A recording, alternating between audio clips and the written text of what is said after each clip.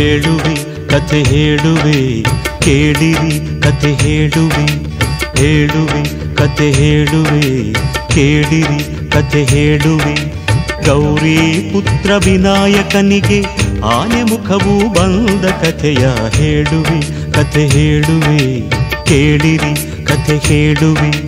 ಗೌರಿ ಪುತ್ರ ವಿನಾಯಕನಿಗೆ ಆನೆ ಮುಖವು ಬಂದ ಕಥೆಯ ಹೇಳುವೆ, ಕಥೆ ಹೇಳುವೆ ಕೇಳಿರಿ ಕತೆ ಹೇಳುವೆ.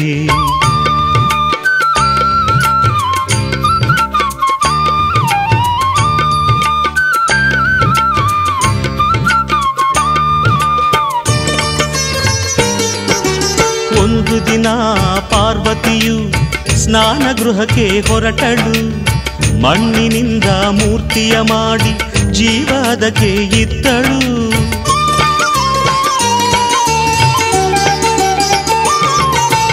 ಒಂದು ದಿನ ಪಾರ್ವತಿಯು ಸ್ನಾನ ಗೃಹಕ್ಕೆ ಹೊರಟಳು. ಮಣ್ಣಿನಿಂದ ಮೂರ್ತಿಯ ಮಾಡಿ ಜೀವದಕ್ಕೆ ಇತ್ತಳು. ಅಮ್ಮ, ನಿನ್ನ ಆಜ್ಞೆಯೇನು ಎಂದು ಕೇಳಿ ಕಂದನು. ಅಮ್ಮ, ನಿನ್ನ ಆಜ್ಞೆಯೇನು ಎಂದು ಕೇಳಿ ಕಂದನು. ಕಾವಲಿರು ಎಂದಳು ಗೌರಿ ಒಲವಿಂದ. ಕಾವಲಿರು ಎಂದಳು ಗೌರಿ ಒಲವಿಂದ ಹೇಳುವೆ ಕಥೆ ಹೇಳುವೆ, ಕೇಳಿರಿ ಕಥೆ ಹೇಳುವೆ. ಗೌರಿ ಪುತ್ರ ವಿನಾಯಕನಿಗೆ ಆನೆ ಮುಖವು ಬಂದ ಕಥೆಯ ಹೇಳುವೆ ಕಥೆ ಹೇಳುವೆ, ಕೇಳಿರಿ ಕಥೆ ಹೇಳುವೆ.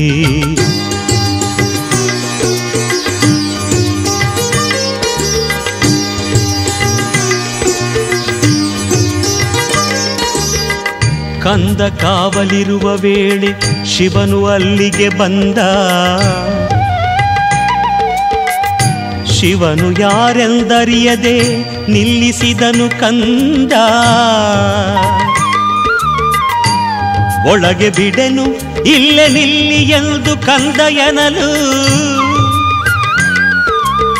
ಹೊರಗೆ ಉಕ್ಕಿ ಬಂತು ಆಗ ಕೋಪದ ಹೊನಲು. ಕೋಪದ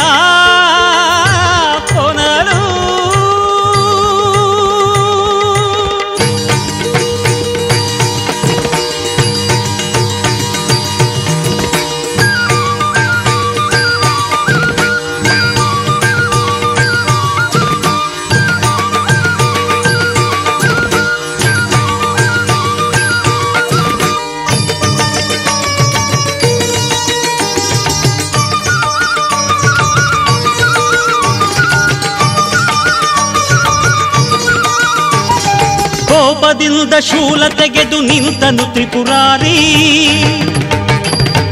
ಕಂದನ ತಲೆ ಕತ್ತರಿಸಿದ ಕಾಮ ಸಂಹಾರಿ. ಶಬ್ದ ಕೇಳಿ ಒಳಗಿನಿಂದ ಓಡಿ ಬಂದಳು ಗೌರಿ. ಸತ್ತ ಮಗನ ಕಂಡು ಹತ್ತು ಗೋಳಾಡಿದಳು ನಾರಿ. ಸತ್ತ ಮಗನ ಕಂಡು ಹತ್ತು ಗೋಳಾಡಿದಳು ನಾರಿ.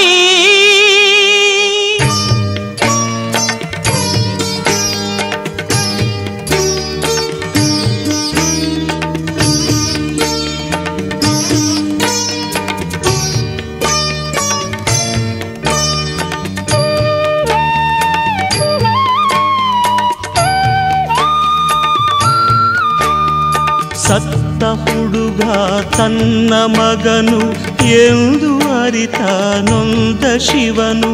ಒಂದು ತಲೆಯ ಆರಸಿ ತನ್ನಿ ಎಂದು ಆಜ್ಞೆ ತಂದನು. ಸತ್ತ ಹುಡುಗ ತನ್ನ ಮಗನು ಎಂದು ಅರಿತ ನೊಂದ ಶಿವನು. ಒಂದು ತಲೆಯ ಅರಸಿ ತನ್ನಿ ಎಂದು ಆಜ್ಞೆ ತಂದನು. ಅರಸಿ ಹೊರಟರು ಗಣಗಳು ದಿಕ್ಕು ದಿಕ್ಕಿಗೆ. ಆನೆಯೊಂದು ಮಲಗಿತ್ತು ಉತ್ತರ ದಿಕ್ಕಿಗೆ.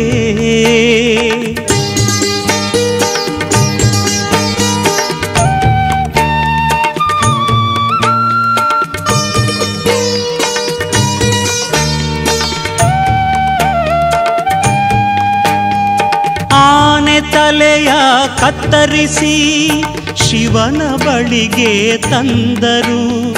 ಅದನು ಮಗನ ದೇಹ ಕಿಟ್ಟು, ಜೀವ ತಂದನು ದೇವನು.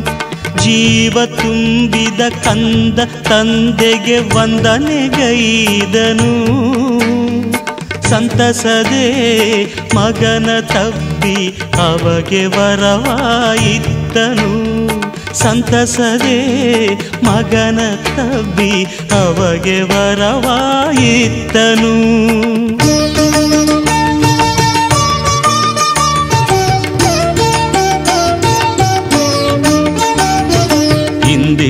ಮೊದಲ ಪೂಜೆ ಎಂದು ನಿನಗೆ ಎಂದನು.